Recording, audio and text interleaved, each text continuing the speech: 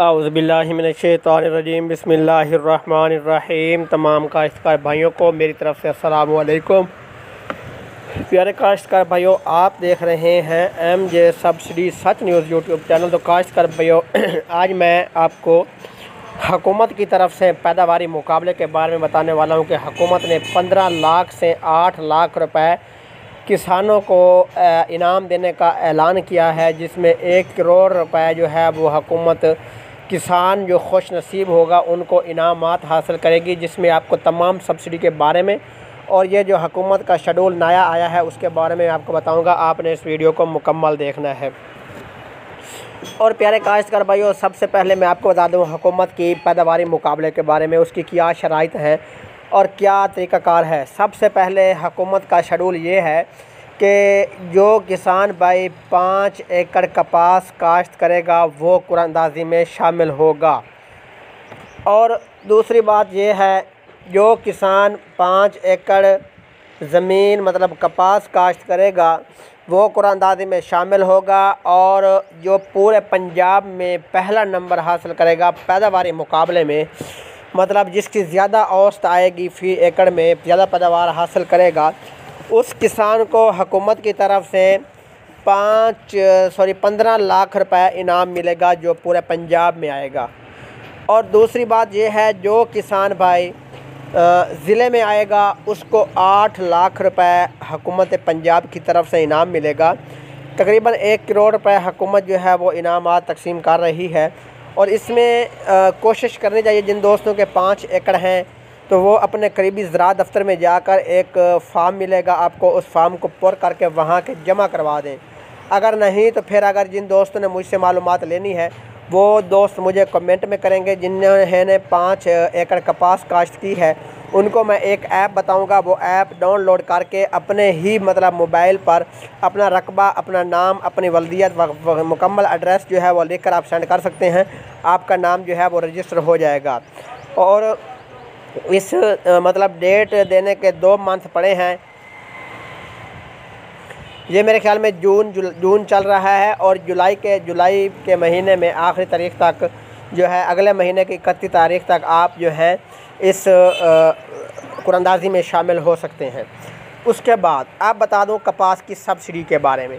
हुकूमत ने प्यारे काश्त कर भाइयों कपास का पचासी सौ रुपये जो है, वो रेट मुकर किया है। और उसके बाद एक हज़ार रुपये फ़ी बैग पर सब्सिडी हुकूमत दे रही है।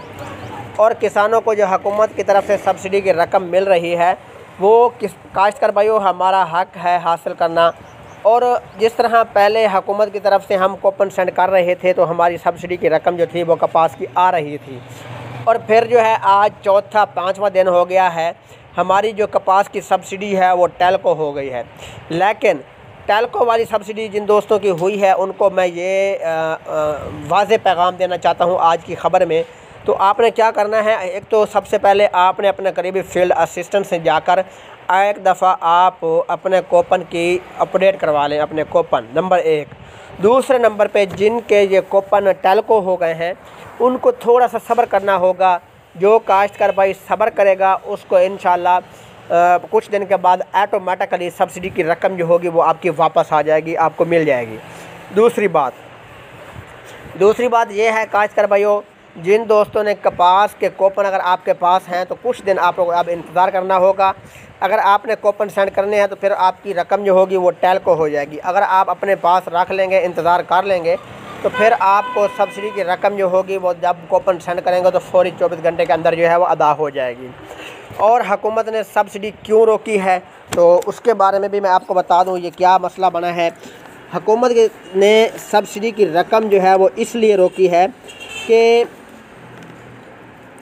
खासकर भाइयों, आगे आपको मालूम होगा कि एक नया बजट आने वाला है और उस बजट में इन अब किसानों के लिए बहुत ही रकम जो है, वो मुंतकिल होगी और किसानों को रकम जो है, अब इस बजट में हुकूमत किसानों को सबसे ज़्यादा मतलब किसानों को तरजीह देगी, क्योंकि आगे इलेक्शन आने वाला है इलेक्शन वजह से हुकूमत जो है किसानों को तरजीह देगी।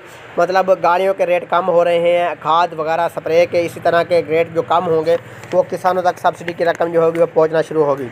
मूँगी की सब्सिडी के बारे में बता दो, प्यारे काश्तकार भाई मूँगी के कोपन जो हैं वो लग रहे हैं।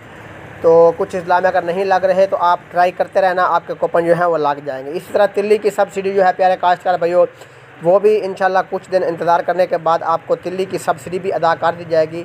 और डीएपी सब्सिडी ऑटो आ रही थी, वो भी टेलको हो गई है। बहुत से दोस्त काफ़ी परेशान हो चुके हैं और ऑटो सब्सिडी वालों को परेशान होने की कोई ज़रूरत नहीं है। आपकी रकम जो होगी वो आप तक ज़रूर पहुँचेगी। और इस तरह सूरजमुखी और कनोला की सब्सिडी जो है इन आपको अब कटाई के दौरान सूरजमुखी जिन दोस्तों ने कोपन सेंड किए थे जिनकी सब्सिडी जो है वो रहती थी, वो नंबर ऑन कर लें, आपको सब्सिडी की रकम जो होगी, वो भी हुकूमत की तरफ़ से अदा कर दी जाएगी। स्प्रे पर सब्सिडी जो है वो अब मुश्किल हो गई है, लेकिन अब एक चांस और बढ़ गया है।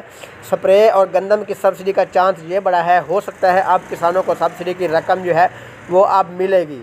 लेकिन तरीक़ाकार ये होगा कि अब अगर बजट आ जाता है, हुकूमत का बहुत ही ज़्यादा किसानों के हक़ के लिए तो इन गंदम और स्प्रे की सब्सिडी जो होगी, वो एक हफ़्ते के अंदर जो है वह हुकूमत फौरी अदा कर दी जाएगी ये मेरी बात याद रखना मैंने आपको बता दी है एडवांस।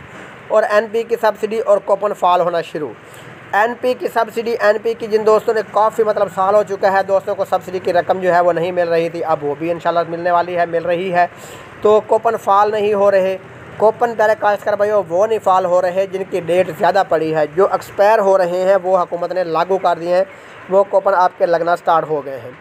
कार्ड रिफ़्रेश के बारे में बता दो, कार्ड रिफ़्रेश अब कब होने हैं? तो कार्ड रिफ़्रेश इंशाल्लाह उस वक्त होंगे जब हुकूमत जो है नए बजट का ऐलान करेगी। उस वक्त कार्ड भी आपके रिफ़्रेश हो जाएँगे। स्प्रे और वेरिफिकेशन करवाने वाले हमसे रबता करें। बहुत से दोस्त जो हैं वो आप ही देख रहे होंगे, मैसेज जो है वो कर रहे हैं और मैसेज का पैगाम जो है वो आपको मिल रहा है कि वेरिफिकेशन करवाने वाले हमसे रबता करें। तो कह प्यारे काश कर भैया सब्सिडी की रकम नहीं मिल रही तो आप किसी को पैसे ना दें और वेरिफिकेशन भी ना करवाएँ। जब वेरिफिकेशन स्टार्ट होगी तो आप लोगों तक मालूम मिल जाएगी जब रकम स्टार्ट होगी। तो प्यारे काश कर भाई ये थी आज को अपडेट, चलते हैं नेक्स्ट वीडियो की तरफ़। ओके, अल्लाह हाफ़